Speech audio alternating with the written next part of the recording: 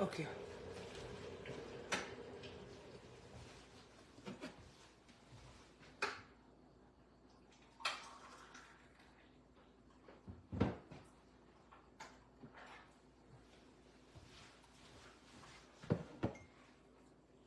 Connectez-vous, bonjour, bonjour, bon dimanche chez vous, bonjour à tous. Ça paraît que j'ai dormi à la maison, hein? Ouais, ça paraît. Un sommeil réparateur. Hier, c'était une journée de sommeil. Jade, Elisa, Cradel, Kadi, Montana, Torine, Thor, comment ça va? Ali Embarga, vous allez bien? Bonjour, bonjour à tous. Bon matin, bon dimanche. Partagez le direct. Il est 9 h Après ça, voilà, un tour à la messe et puis après à la bibliothèque. Merci. Partagez le direct. Oui, bon, Lydie Okema, Akissi, Jennifer, vous allez bien, bonjour. Euh, je veux que vous me partagez ce direct. Euh, quand il y a un fait d'actualité, c'est sûr que au-delà des passions, tout et tout, il faut que... Ok, merci. Il faut qu'on aille tirer les leçons. Il faut qu'on aille faire de la sensibilisation, s'il vous plaît. Euh, ne vous donnez pas, ça dit, ne vous fatiguez pas pour m'appeler. Voici, voici mes deux téléphones business. Ces téléphones sont sur ne pas déranger. J'ai commencé hier. Hier, j'ai dormi à, à quasiment 23 heures presque à répondre aux messages. Je, vous ai, je commençais à vous laisser les messages. Là, je m'en vais à la bibliothèque pour travailler. Après ça, je vais vous répondre. L'information que je vous donne, préparez la documentation. Vous avez vu, hein, c'est ce que j'ai dit dans les vidéos. Préparez la documentation, tout et tout. Dès que le problème est, on a trouvé une solution, comme j'ai dit dans le direct, la solution est trouvée automatiquement. Vous allez commencer à téléverser vos documents dans l'adresse email que je vous ai donnée. Vous allez aussi payer les frais de dossier, oui. Pour faire vos dossiers, c'est-à-dire pour les constituer, ça prend des frais. Donc, c'est ce que vous allez payer. Merci beaucoup. Merci à tous ceux qui sont connectés partagez le direct. On va monter un peu. On va monter un peu, puis je vais commencer. Je n'ai pas assez de temps, maximum 30 minutes. Euh, Est-ce que j'ai des informations? Oui, ben la publicité toujours, Yes Beauty. Les terrains, vous m'aviez demandé si les terrains, je continue encore. Je vais avoir une conversation avec le propriétaire des terrains aujourd'hui. Ouais, c'est vrai, depuis le temps des fêtes, on s'est parlé une ou deux fois. Donc, euh, je vais avoir une conversation pour savoir si je continue la pub ou bien parce qu'il avait dit qu'il veut arrêter à partir de janvier. Janvier, février, il a dit qu'il devait arrêter. Donc, il faut que j'ai la confirmation aujourd'hui. En fonction de ça, je vais vous donner de l'information. Après ça, Yes Beauty, toujours, ça n'a pas changé. Voilà. Wendy n'a pas encore eu son maillot. Deris euh, euh, Gada. Elle n'a pas eu le maillot elle avait eu un sur Internet, on parlait de 65 dollars. Et puis, elle a eu un à... Ah, c'est vrai, quand elle va se réveiller, je vais voir. Elle a eu un à Laval, qui était quand même à moins de coût. Je ne sais pas, elle devait discuter avec le monsieur. Peut-être que dans la journée, si elle a eu ça, je vais aller chercher ça à Laval pour elle. Merci de t'en soucier. Ok, les pubs, comme je vous dis, ça continue. Yes Beauty, toujours, vous voulez vous coiffer. C'est plus un secret. C'est des cheveux de qualité. Voilà. Même ceux qui n'aiment pas, oui, vous n'aimez pas les gens, mais vous suivez les traces des gens. Voilà. Vous, vous, vous, vous, détestez les gens, mais vous suivez les traces des gens. Voilà.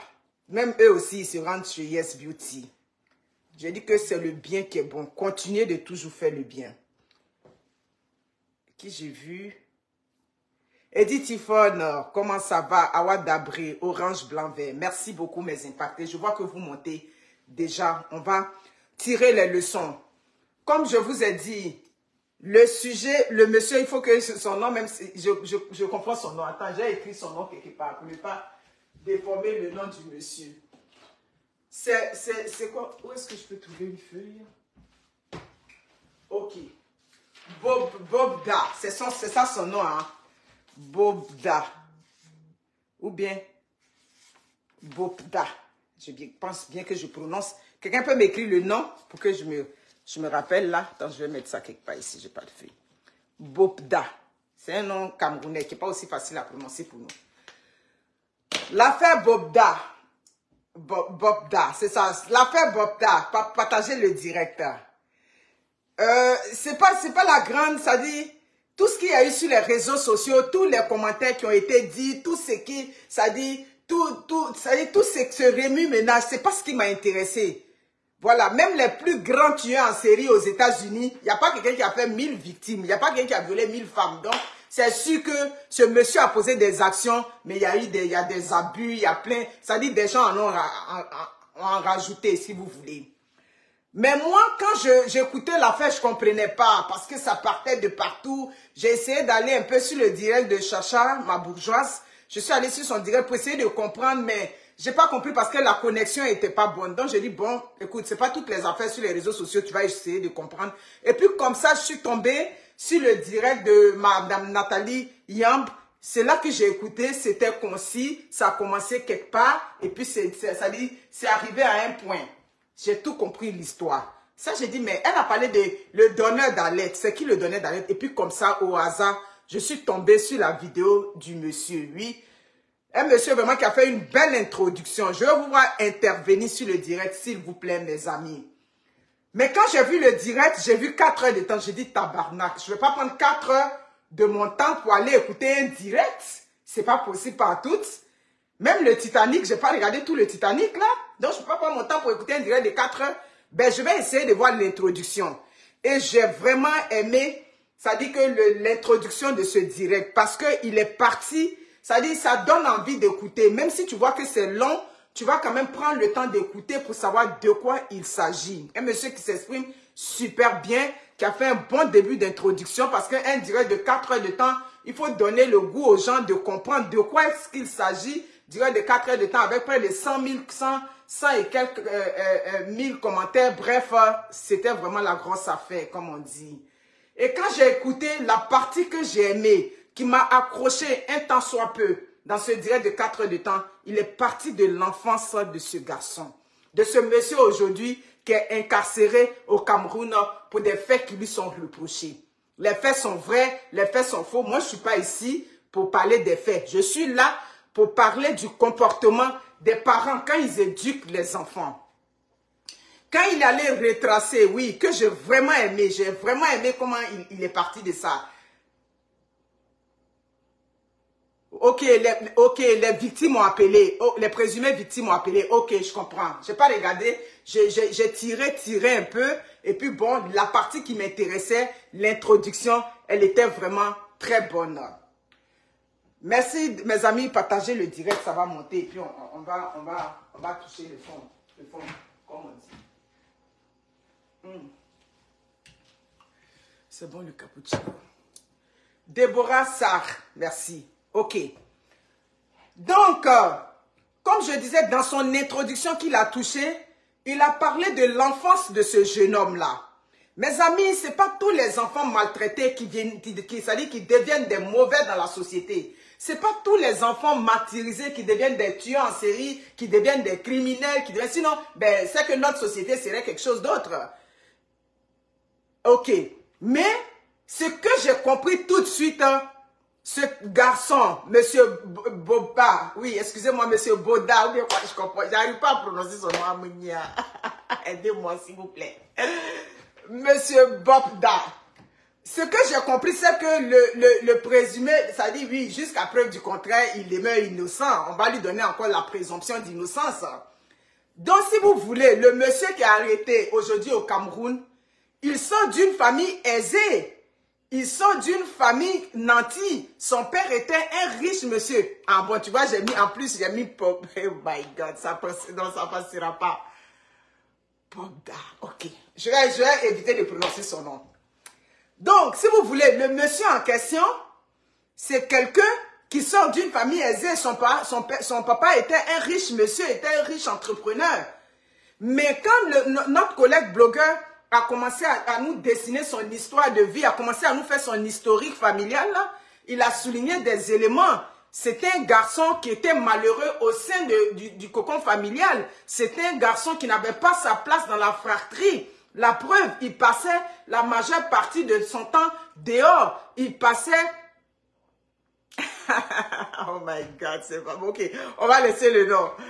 Ok, euh, donc c'était un garçon qui passait le plus clair euh, euh, de son temps à l'extérieur. Il passait le temps chez un coiffeur, chez des gens. Bref, c'était un garçon qui était malheureux au sein de la famille. Et la majorité de l'histoire des tueurs en série, la majorité de ces gens qui sont devenus des démons dans leur vie, qui sont devenus des tueurs, qui sont devenus des violeurs, la majorité de leur histoire part de leur enfance chaotique. Oui, c'est ça. Cette enfance où ils ont été brimés, cette enfance où ils n'ont pas eu de place, oui.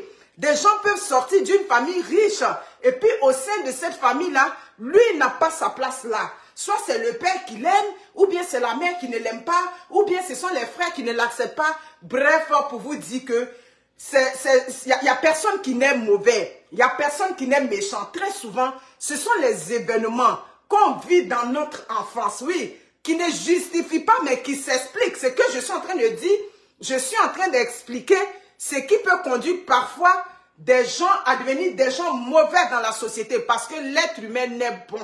Voilà, c'est écrit. On est bon, c'est la société qui nous transforme. Parfois, c'est ce qu'on a vécu. C'est notre bagage familial, notre historique de notre enfance. Parfois, quand c'est trop, c'est dehors qu'on arrive à extérioriser ça.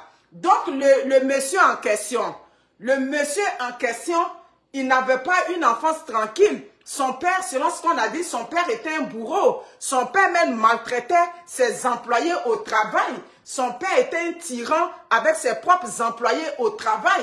Donc vous pouvez imaginer un homme qui ne tolérait même pas ses employés. Vous pouvez imaginer ce que ce père-là faisait vivre à ses propres enfants à la maison.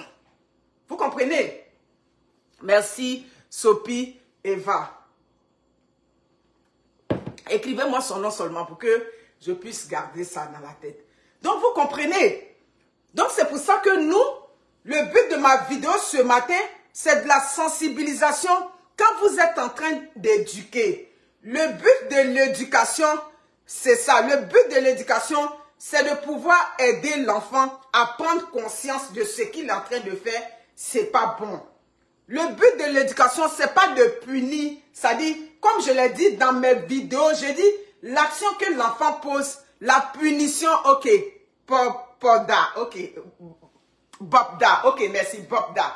Ok, l'action que l'enfant pose ne doit pas, ça dit la punition ne doit pas excéder, ça dit que l'action que l'enfant a posée. Un enfant qui a volé un bonbon, oui c'est vrai, voler c'est mauvais, mais la punition qu'on va donner à cet enfant ne doit pas excéder le fait qu'il ait volé. Je ne sais pas si vous comprenez. Donc parfois, des gens se disent que en éduquant, il faut taper fort dessus. En éduquant, il faut maltraiter. Non, c'est pas ça. Voyez-vous, quand on va aller regarder l'histoire de ce monsieur, on va aller fouiller dedans. Dieu seul sait ce que ce monsieur a vécu pour être un démon aujourd'hui qu'il est dans la société.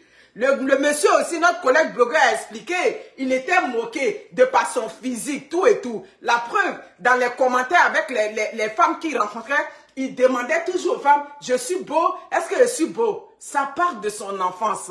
Puisque toute son enfance, on s'est moqué de lui, on s'est moqué de ses oreilles. Quand on disait ses oreilles ressemblent à un lapin. Donc il a gardé ça, c'est resté enfoui en lui. Il a gardé le fait qu'il était un bon à rien, il n'était pas beau. Donc ça fait qu'il avait besoin de se, ça dit, de se sentir aimé. Il avait besoin que les autres le mettent en confiance. Au lieu que ce soit lui-même, qui soit un homme confiant, qui a eu une haute estime de soi, de lui-même, il avait besoin que ça vienne des autres. Donc c'est pour ça que toutes ces femmes qu'il rencontrait, il avait besoin que ces femmes-là lui disent que oui, tu es beau, oui, tu es le plus mignon, vous comprenez. Donc c'est pour cela que quand vos enfants sont déjà petits, il faut travailler leur estime de soi. J'ai déjà dit plusieurs fois dans mes vidéos, parfois on insulte nos propres enfants sur leur physique. Hein? Les mamans même là, tu as le gros nez, hein, mais ton enfant a pris le gros nez. C'est le gros nez que les gens vont prendre pour l'insulter dehors là. C'est ce que tu vas prendre pour l'insulter. Oui, on prend ça à la blague, mais à force de répéter que cet enfant-là, à la maison, on lui a dit, oh, tes pieds sont penchés. Et là, ses pieds penchés là. À la maison, déjà, on lui rappelle que ses pieds sont penchés. Les pieds penchés qu'il a pris du père, les pieds penchés qu'il a pris de la mère là, on prend ça pour l'insulter. Mais dehors encore, on insulte là-bas que ses pieds sont penchés. Comment pensez-vous que cet enfant là va se faire sentir? Donc, tout part de l'enfance. C'est pour ça que je dis que travaillons. Ça dit que travaillons l'éducation de nos enfants. En tant que parents, montrons le bon exemple. Vous comprenez? Il y a des enfants, du fait que ces enfants-là n'ont pas été désirés. Moi, j'ai déjà vu ce genre d'exemple à Angré. On avait une tante qui était une cadre au quartier. Son mari aussi était un cadre. Mais la fille qu'elle a eue, le mari n'a pas voulu de cet enfant. Lui, il voulait plus d'enfants. Ce qui fait que quand la fille est née, le mari, étant donné que lui ne voulait plus d'enfants, il dit il a eu ses trois enfants, ça s'arrête là. Étant donné que lui, il ne voulait plus d'enfants, mais mes amis, ils ne regardaient pas cet enfant-là dans la maison. Ils ne s'en occupaient pas. Cet enfant-là était né, c'était l'enfant de la maman. C'est elle qui s'en occupait, c'est elle qui faisait tout. Si ce n'est pas la ressemblance qu'elle avait de son père, tu arrives à la maison, tu ne vas pas savoir que c'est l'enfant du monsieur. Même l'école, quand elle a eu le bac, l'école privée où elle partait, tout et tout, c'est la mère qui s'en occupait jusqu'à ce qu'elle soit devenue quelqu'un de bien aujourd'hui. Donc souvent, quand les enfants ne sont pas désirés, le comportement que ces parents-là exercent sur ces enfants-là, ça peut avoir des conséquences plus tard. Donc c'est cela qu'on dit, les enfants ne sont pas responsables. Oui, l'enfant n'est pas désiré, mais on ne va pas détester un enfant parce qu'il n'est pas désiré. Vous comprenez Ici au Canada, il y a une jeune fille qui était arrivée, m'a expliqué l'histoire. Je lui ai dit que j'ai déjà fait une vidéo là-dessus. Elle est venue, quand le blanc la prenait à Abidjan pour la ramener ici au Canada, lui, il a dit qu'il ne veut pas d'enfant. Tabarnak, quand vous rencontrez des gens et ils vous disent qu'ils ne veulent pas d'enfant, respectez ça. D'accord, si tu es venu par rapport à par rapport, toi tu attends quand tu vas voir pour toi, et puis bon, tu vas sacrer ton camp de là, tu vas partir. Mais tu ne vas pas imposer un enfant à quelqu'un qui a dit que lui, il ne voulait pas. Mais quand l'enfant est né, elle est enceinte aujourd'hui, c'est le cauchemar. Je dit, ma chère, tu ferais mieux de rejoindre les organismes. Et si tu restes avec ce monsieur-là, il est capable de te faire du mal parce que lui, il a dit qu'il ne voulait pas d'enfant. Mais il t'avait dit à Abidjan qu'il ne voulait pas d'enfant, non? Il t'avait pas dit ça? Il t'avait dit ça. Elle dit oui, il m'avait dit, mais je pensais que il m'a pris, Bref, donc il y a ce genre de comportement-là. Vous imaginez que cet enfant-là, demain l'enfant va naître dans cette maison. Le comportement de ce père peut avoir des conséquences irréversibles sur cet enfant-là. Donc faisons attention. Vous comprenez? Ces enfants-là, ils deviennent des démons plus tard, comme ce, monsieur, ce, ce monsieur Camerounais aujourd'hui. Ils deviennent des démons. Pourquoi? Parfois, ils vivent le sentiment d'abandon. Ce, monsieur, on a compris que sa mère n'était pas à la maison. Donc, une mère qui est partie. Et puis, c'est une autre maman qui est en train de l'éduquer. Avec un père tyran. Un père qui ne le regarde pas. Un père peut-être qui le battait, qui le maltraitait. Ça peut donner ce genre de comportement. Vous comprenez? Donc, faisons attention aux gestes qu'on pose sur nos enfants. Faisons attention aux paroles qu'on donne à nos enfants quand on est en train de les éduquer. Avant, on nous élevait à la dure, ça passait. Mais aujourd'hui, le monde d'aujourd'hui, les, gens sont fragiles. Les enfants ne sont pas aussi, ça dit aussi rodés, aussi, aussi robustes que les enfants de notre époque ou bien de, de l'époque de mes parents. Donc, quand on est en train d'éduquer, on éduque avec des mots, ça dit que des mots raisonnables. Même quand l'enfant fait une bêtise, il faut aller doucement. Il faut pas, surtout les paroles, les paroles où on rabaisse l'enfant. Hein, c'est pas ta maman qui est ici, c'est pas moi qui ai chassé ta maman. Des paroles où chaque fois on tape, on tape sur le mental de l'enfant. Quand il commence à grandir, c'est dehors qu'il s'en va extérioriser le comportement et ça donne ce à quoi nous sommes en train d'assister. Donc, ces enfants-là qui vivent ce sentiment d'abandon quand ils sont petits, quand ils grandissent, ça, ça revient à la surface. Donc, faisons attention. Il y a des familles qui sont riches, ils ont l'argent. Quand on les voit de l'extérieur, on dit, ah, ils sont bien. Toutes les familles riches là-bas, il y a problème parmi les enfants là-bas. Il n'y a pas une famille où tout, vous allez voir que les familles, même où il y a des problèmes, c'est des familles où des gens sont nombreux. Oui, ils sont riches, ils sont nombreux. Il y a toujours des problèmes là-bas. On a toujours pensé que c'est l'enfant unique qui est le plus malheureux parce qu'il n'a pas de frère, il n'a pas de soeur. Oui, ça peut se ressentir. Un enfant unique aurait voulu avoir un frère ou une soeur. Mais ils ne sont pas nécessairement les plus malheureux. Parfois, il y a des grandes familles où ils sont riches, mais chaque enfant n'arrive pas à se faire sa place dans la fratrie. Est-ce que je mens Il y a des enfants qui sortent des familles riches où dans cette famille-là, il n'arrive pas à se tailler sa place. Il n'arrive pas à ce que même on lui donne une place. Vous comprenez? Vous savez, moi j'ai grandi d'une grande famille. Un jour, j'ai mon frère, père à son âme, qui était en train de se chicaner avec ma grande soeur. Vous savez ce qu'il lui a sorti? Mais je ne suis pas l'enfant d'une copine dehors. Hein. Ma mère n'était pas une copine dehors. Mon frère a sorti ça. Ben, sur le coup, ça nous a fait rire qu'il ait dit ça. Mais pourquoi il avait, il avait, il avait, il avait fait sortir cette phrase-là? Peut-être qu'il avait le sentiment d'être traité comme un enfant d'une copine dehors. Il avait le sentiment d'être traité comme un enfant, ça dit que d'une maîtresse. Donc quand il a dit ça, on a ri. Après, on prenait à la blague. Mais j'ai grandi aujourd'hui et puis j'ai compris que pour que mon frère ait pu sortir cette phrase-là, ça veut dire qu'il avait un mal-être. C'est ça. Au point où il est sorti pour dire que un un ça veut dire copine. Ça dire maîtresse dehors. Il dit, je suis pas un enfant d'une maîtresse, hein. Je suis l'enfant aussi d'une maman. On m'a couché dans la maison ici et puis maman est partie. Il nous a sorti ça. Il a sorti ça à ma grande soeur. J'ai grandi aujourd'hui et puis j'ai pu, ça dit aujourd'hui, avec tout mon bagage que j'ai aujourd'hui, j'ai fini par comprendre que donc mon frère aussi souffrait. Il souffrait du fait qu'il était peut-être, il n'est pas, il n'était pas traité à sa juste valeur. Il n'était pas traité comme un enfant à part entière qui aurait pu avoir sa place comme tout le monde dans cette famille. Donc, donc faisons attention. Vous comprenez? Chaque enfant doit avoir sa place. Parents, faites de telle sorte que oui, c'est vrai, les parents ne peuvent pas aimer tous les enfants de la même façon. Ok, tu vois, merci, euh, euh, euh, comment ça, Edith Tifon. Les parents ne peuvent pas peut-être aimer tous les enfants de la même façon, mais il ne faut pas que l'injustice soit flagrante. Il ne faut pas que la, ça la partisanerie en tant que parent, on constate que c'est lui que tu aimes plus, tu fais plus de faveur à l'autre, et quand c'est l'autre qui fait une bêtise, ça prend toute une ampleur, ça commence à enfler dans la maison. Il faut faire attention. Pour que des gens deviennent des mauvais dans la société, comme ça, c'est des frustrations. Quand on regarde l'histoire de ce monsieur camerounais, quand on regarde son histoire, ben pour ceux qui connaissent l'histoire des crimes américains, il a, il a un peu, ça dit le même mode opératoire que, comment on appelle ça, le tueur de Milwaukee. Comment il s'appelle ce gars-là? Oh, euh, euh, Jeffrey Dahmer. Quand tu le regardes, tu vois que c'est comme c'est le prototype de Jeffrey Dahmer qui vivait dans une famille aisée, mais qui était coincé au sein de la famille, qui n'arrivait pas. Les parents, Jeffrey, son père était quoi? Son père était un chimiste. Mais il ne regardait pas son fils. Il faisait même pas attention à son fils dans la maison. Sa maman aussi, elle avait un peu les troubles mentaux. Donc, elle, elle était centrée sur elle-même. Au lieu de mettre ses enfants en avant, de prendre soin de ses enfants, elle, voulait que toute l'attention soit, soit, soit portée sur elle. Donc, ça fait que cet enfant-là, il est resté replié dans la maison cet enfant-là ne s'est pas senti aimé. Il n'arrivait même pas à se tisser une place dans le tissu social, à l'extérieur de la maison. À l'école, Jeffrey n'arrivait pas à se faire des amis. On se moquait de lui, tout et tout. Pourquoi? Parce que déjà, à la maison, ça ne va pas. Généralement, pas tous d'ailleurs. Généralement, ces tueurs en série, ces, violents en série, ces mauvais hommes-là, ben, ça dépend de comment ils sont traités. Ils ne sont pas traités bien à la maison, ben, c'est dehors qu'ils commencent à, devenir des gens mauvais. Donc, en tant que parent, il ne faut pas qu'on forme des démons, des petits démons dans nos maisons, et puis demain, ils deviennent, ça dit que, un gros mal pour la société, et partagez le direct. S'il vous plaît.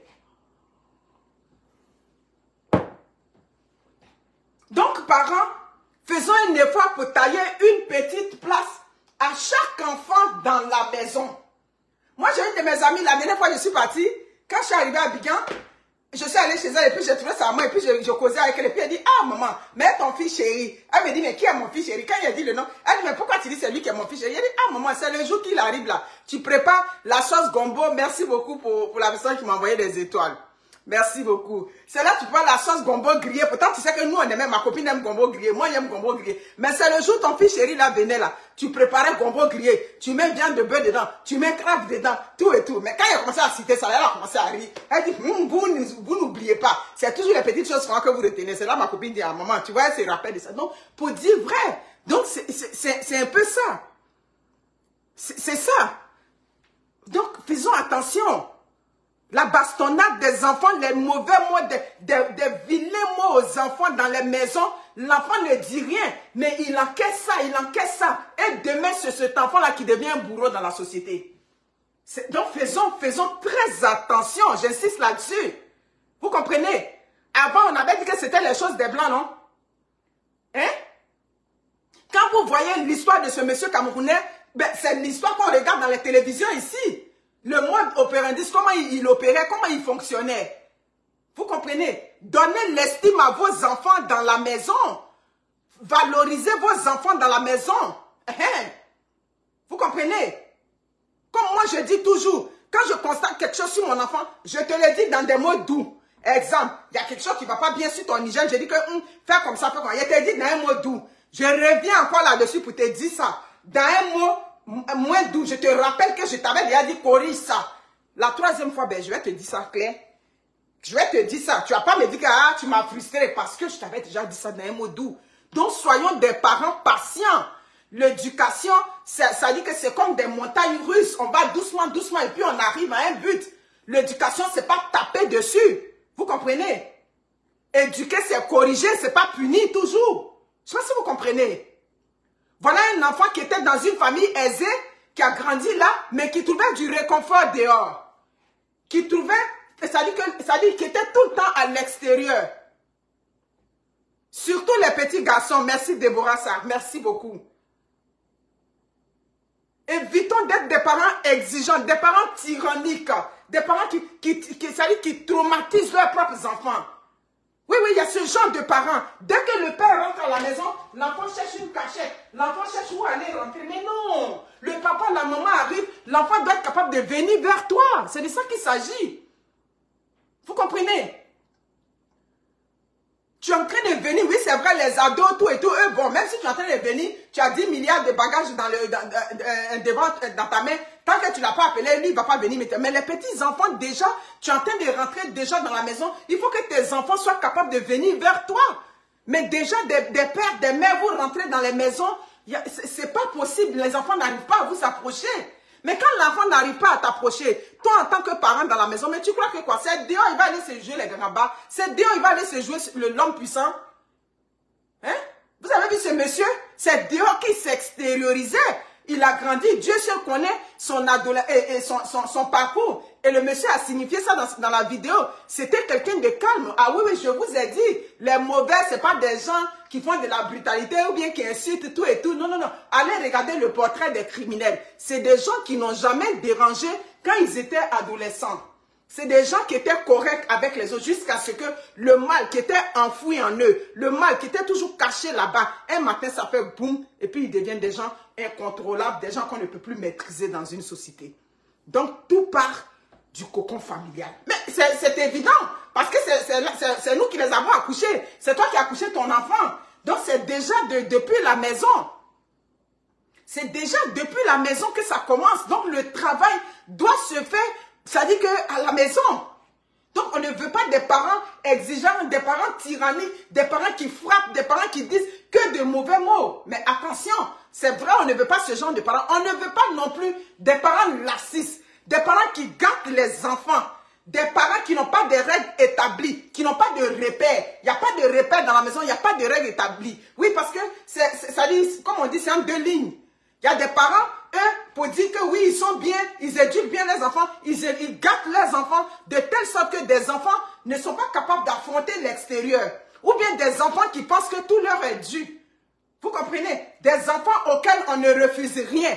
Des enfants, ça dit, comme, comme, comme j'ai fait plein de vidéos par le passé, des enfants qui sont grands, qui sont dans les maisons, qui ne sont pas capables de, de ne serait-ce que laver une cuillère, ne serait-ce que laver une fourchette. Des enfants qui battent des servantes dans la maison. Mais de quel droit une servante dans une maison Ça veut dire que cet enfant, on lui a donné tout. Des enfants qui ne sont même pas capables le matin de remuer eux-mêmes leur café pour mettre le lait dedans, pour mettre le sucre. Tout, c'est la servante qui a venu faire. Des enfants qui se réveillent. Tout est à la traîne dans la maison. Ils ne sont pas capables de balayer. Ils ne sont pas capables de débarrasser une assiette quand ils finissent de manger tabarnak. C'est éduquer ça? Je veux comprendre. Est-ce une façon d'éduquer? Parce qu'il y a une servante à la maison, donc ton garçon ou bien ta fille qui a 12 ans, qui a 13 ans, n'est pas capable de prendre son assiette où elle a fini de manger pour venir déposer. C'est éduquer qu'elle a. Est-ce une bonne façon d'éduquer vos enfants?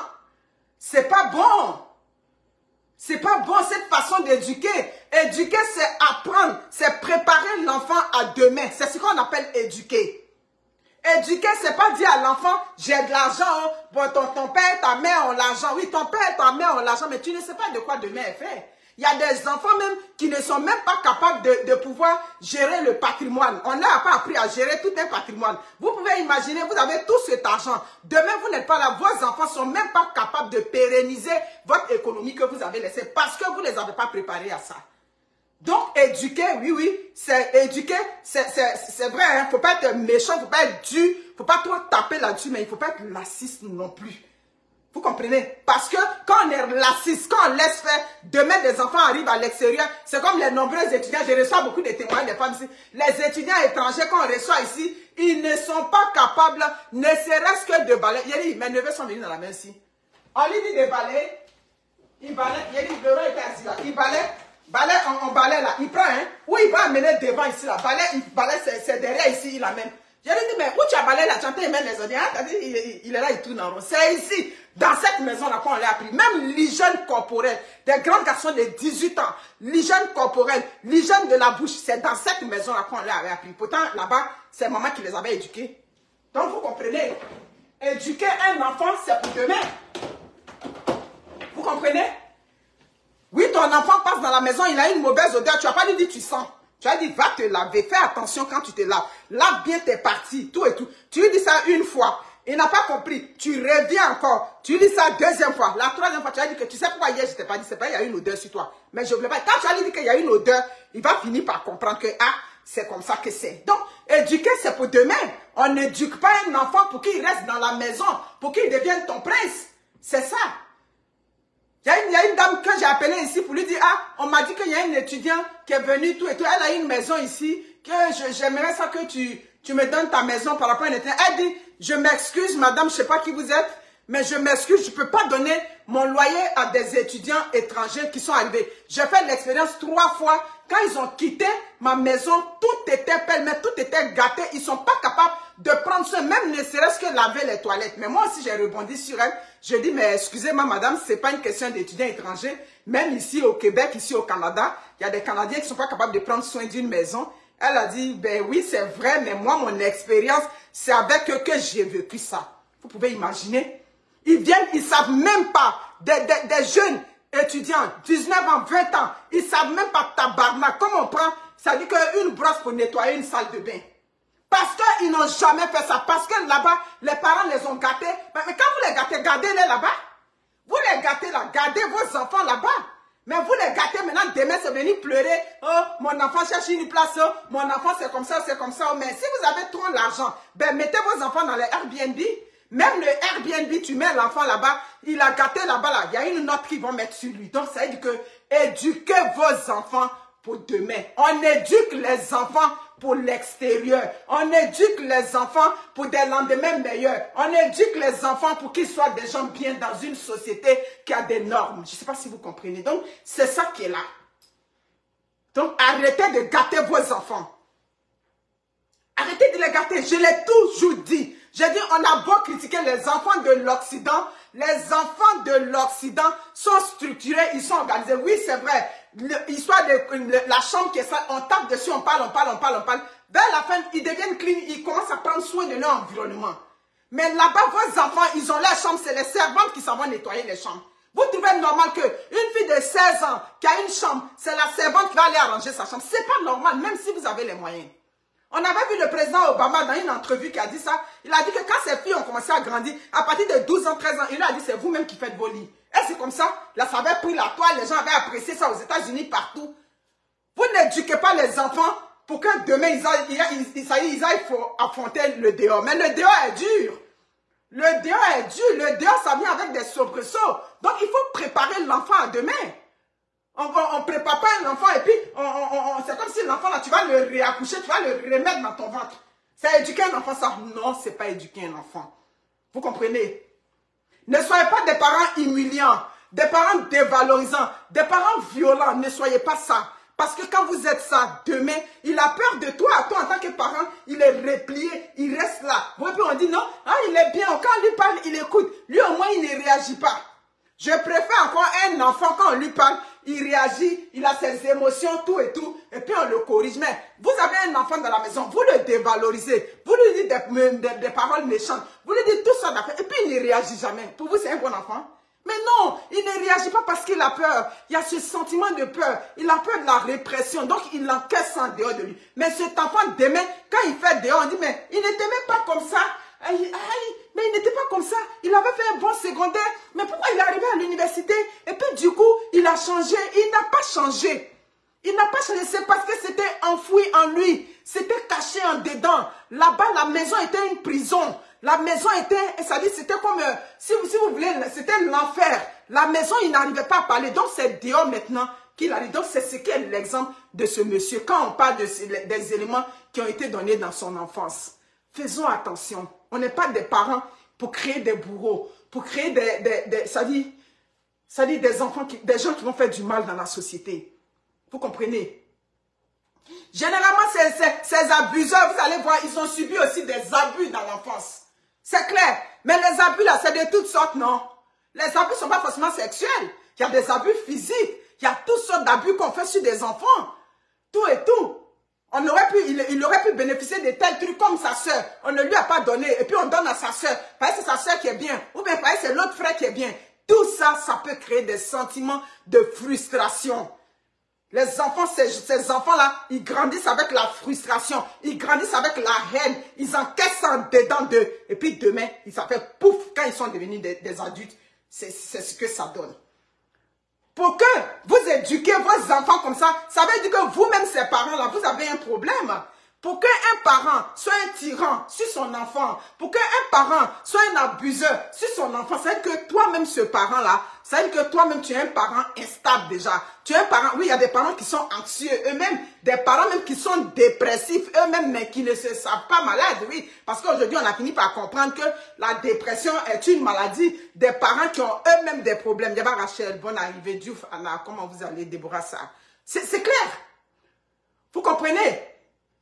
C'est pour cela que souvent quand on prend certains enfants aux parents, nous on voit que la face visible de l'iceberg. Nous on voit que ah, les services sociaux aussi, on lui a retiré son enfant. Comme une qui avait dit, je sais pas, elle a laissé ses trois enfants pour aller aider quelqu'un tabarnak. Ça va dans ta tête. Toi tu laisses tes enfants pour aller apporter de l'aide à quelqu'un. De soit si c'était en Allemagne ou quoi, j'avais vu sur TikTok, elle pleure maintenant. Mais si tu as laissé tes trois enfants sans surveillance pour aller apporter de l'aide ça veut dire que c'est l'aide de Dieu qui était bien. Donc on t'a pris tes enfants. Nous on n'a pas pitié pour ça. Des choses comme ça, on, il a dit, on les prend, on les donne même à la personne qui peut en prendre soin. Par exemple, ça a démontré que c'est pas parce que tu as accouché que tu es capable d'en prendre soin. Donc, vous comprenez. Donc, ne fabriquons pas des bourreaux pour aujourd'hui être des, des, des gens qui vont détruire une société. Regardez aujourd'hui tout ce mal que ce monsieur, qu'on lui reproche, vrai, faux, dans tous les cas, des faits lui sont reprochés. Vous comprenez? Pour, pour se sentir aimé, qu'est-ce qu'il faisait? Pour se sentir aimé, là, le, le, le, le cigare dans la bouche, la distribution d'argent, tout et tout. On est président, président. C'est là qu'il trouvait, ça dit, son, son réconfort. C'est là qu'il trouvait son estime. On l'acclamait à l'extérieur parce que cet enfant, il n'a jamais été acclamé à la maison. On n'a jamais reconnu ses bienfaits. On n'a jamais fait attention à lui. Ça dit tout ce qu'il faisait. On ne faisait qu'attention à lui que quand il faisait le mauvais. Oui, il y a un tueur en série, il a dit. Il a dit, on n'a jamais fait attention à moi. C'est quand j'ai tué la première fois que toute l'attention fut posée sur moi. Donc vous comprenez, faisons attention. Si vous saviez que vous n'êtes pas capable de faire des enfants, oui, oui, il a dit ça, il a dit. C'est ce qu'il a dit. Il a dit, il a dit, il a fallu que je tue pour qu'on fasse attention à moi. Juste pour, chercher, pour rechercher l'attention. Donc vous pouvez imaginer, Donnons de l'attention aux enfants qui sont autour de nous. Les enfants qu'on a couchés, les enfants dont on en prend soin, les enfants même d'autrui. Oui, c'est ce que je dis. Même les enfants d'autrui, qui sont enfants encore. C'est pour ça que je dis, ne portons jamais de jugement sur les enfants d'autrui quand ils sont encore mineurs. Mais s'ils sont à l'âge adulte, ben, ils font leur action, on peut réagir. Mais ils sont à l'âge mineur, ben, apportons-leur notre, ça dit que notre support qu'on peut. Vous comprenez? Personne ne naît mauvais. Il n'y a personne qui naît, c'est-à-dire qui naît euh, tueur en série, qui naît euh, violeur, qui naît méchant. Il n'y a personne. Ce sont les événements, les psychologues, les psychiatres vont aller regarder dans son historique familial. C'est pour ça que toujours, quand quelque chose arrive, on va aller regarder son bagage familial. C'est ça. Qu'est-ce qui s'est passé? On a vu que ce monsieur camerounais, son père était un tyran. Son père aussi était un mauvais. Son père aussi prenait les femmes des autres. Il, prenait les femmes de ses employés. Il en faisait tout ce qu'il veut. Donc, rien ne peut surprendre. Vous comprenez? Rien ne peut surprendre. Faisons attention dans l'éducation. Éduquer, oui, oui, éduquer, c'est corriger avant tout et non punir. Je ne sais pas si vous comprenez. On veut corriger. On veut que la mauvaise action qui s'est passée, on ne veut plus que ça se répète. Donc, on va mettre des mécanismes en place, tout et tout. Et puis, on va essayer de régler ça. Vous comprenez? C'est comme la fille de mon, de mon, petit là. À, la garderie, matin, midi, soir, fille me disait, ah la mère, on dit que la petite a fait ça. Ah la mère, on dit que la petite... J'ai quand même matin, j'ai dit, bon, ce soir, c'est moi qui vais la chercher. Je suis allée, la dame, j'ai discuté avec elle. J'ai dit, ben, il n'y a pas de problème. Tout ce que vous me dites là, je prends ça en compte. Mais est-ce que vous avez demandé de l'aide? Aux, aux, choses, au, comment on appelle ça, au bureau Vous savez qu'il y a des gens là-bas qui sont capables de vous établir un plan où on peut essayer de corriger le comportement de l'enfant. On ne va pas tout le temps, chaque soir, on ne va pas venir chez l'enfant, on va nous répéter, on va nous répéter. Elle me dit, oui, j'ai pensé à ça. J'ai dit, ben, il faut qu'on demande de l'aide. On ne va pas la sortir tout de suite de ton milieu de garde parce qu'il y a un comportement dérangeant. Il a dit que depuis que lui a parlé de demander l'aide, il n'y a plus de problème. C'est maintenant, moi, tous les soirs, il dit à mon fils, laisse, c'est moi qui vais la chercher. Tous les soirs, il m'a dit, ah, ça va, maintenant ça va, tout est pas. Et quand je lui ai dit, il faut qu'on demande je lui ai dit, moi aussi, c'est mon bébé, c'est ma petite fille, je vais lui parler, je vais essayer de, lui expliquer. Chaque fois que je viens, qu'elle fait de bonnes actions, je vais, lui, je vais la prendre, on va aller au, centre d'achat après la garderie, et puis je vais lui offrir une glace, je vais lui donner quelque chose. Donc moi aussi, je vais faire mon travail de mon côté. Il a dit que depuis que je lui ai dit ça, tous les soirs quand il m'envoie, c'est bon commentaire maintenant. C'est devenu bon commentaire. Parce que là, elle avait commencé à me casser les oreilles avec ça. J'ai dit, ben, il faut qu'on demande de l'aide. Si tu penses que l'enfant a un problème, on va te demander de l'aide. Mais tous les soirs, tu peux pas venir me dire, l'enfant a fait si haut, elle a poussé tant haut, elle a fait. J'ai dit, mais les enfants qui poussent, tu sais qu'il y a un plan pour ça. À la garderie, si l'enfant pousse, il y a un plan. Si l'enfant n'écoute pas, il y a un plan qu'on peut mettre en place. C'est fini. Allez, là, il n'y a plus de problème. La petite est venue correcte. Donc, vous comprenez. On est là pour améliorer le comportement. On est là pour travailler le comportement des enfants. Vous comprenez? Et Dans tous les cas, le monsieur du Cameroun, il n'est pas le seul. Il y en a beaucoup, beaucoup, beaucoup là-bas. C'est pour lui qui est sorti, comme je dis. En Afrique, les bons, les, ceux qui ont les cravates, les cravates, quand, quand, quand, sont pas des violeurs. Ceux qui sont les grands boss. En Afrique, le boss n'est pas un violeur. Même s'il t'a pris, il t'a envoyé à, comment on appelle ça, à l'hôtel, tout et tout. Il t'a fait tout ce qu'il veut il n'est pas un violeur. La preuve, j'ai défendu le dossier Ben Badi ici. Oui, oui, lui, je vais toujours le citer. Je l'ai défendu ici. Il a reconnu les faits. Les voix sont tous dans ce téléphone. Les voix sont tous dans ce... Il a reconnu au commissariat. La fille a, accepté premier coup. Deuxième coup, elle dit elle ne veut pas. Il a forcé, forcé, il est sorti. Où il est aujourd'hui Il circule librement là-bas. On l'invite sur des plateaux de télé, tout et tout. Si c'est au Canada, Ben Badi passe dans aucune télé. Il tombe aux oubliettes. Claire. Claire, déjà, même déjà, il y a eu ça sur toi. Juger, pas juger. Peut-être que là où on m'a dit que, ça dit, on, tu, seras réhabilité, c'est on t'a jugé, on t'a trouvé innocent, tout et tout. Là, tu peux passer. Mais le flou subsiste. Il passe encore dans les télés. On entend le faire calme, c'est lui qui passe dans les télés. C'est lui qu'on prend là-bas. Donc, c'est ça qui est ça. Voilà. En Afrique, ceux qui ont des connaissances, ceux qui ont des belles acquaintances, ceux qui, ont des, qui connaissent le boss, qui connaissent le ministre, ceux qui sont ministres, qui sont entrepreneurs, qui sont quoi? Ils ne sont pas violeurs là-bas. Voilà. Vous allez voir que ce monsieur-là, ce coup-là, il n'a pas fait seul. Hein? Ah oui, oui, il n'a pas fait seul ce coup-là. Mais quand il va citer, et puis ils vont voir qu'il y a des noms de haut gradé, haut gradé là-bas, l'affaire va faire d'une manière, on va le juger, on va lui donner un an, on va lui donner deux ans, et puis c'est fini. Donc, c'est ça qui est ça. J'avais une, une, blogueuse qui a dit, on a libéré le petit là, comment il s'appelle, MHD. On l'a libéré, dit, ouais, il n'a même pas payé pour son crime. Il, déjà, il est libéré. Mais lui, il n'a pas payé. Et ton frère non. Tu as oublié? Vous avez la mémoire sélective. Tu viens parler du petit. Lui, au moins, on l'a jugé en Europe. Tout et tout. Il a goûté un peu prison. Et ton frère Ténon qui a mis la fille sous terre. Ton frère Ténon n'a pas fait petit maca. Donc, taisez-vous. Ils ont libéré le petit, vous vous taisez. C'est ça qui est la vérité. Sur ce, prenez soin de vous. Tantôt, je fais un petit direct sur question d'entrepreneuriat quand je serai en route. Ciao. Au revoir.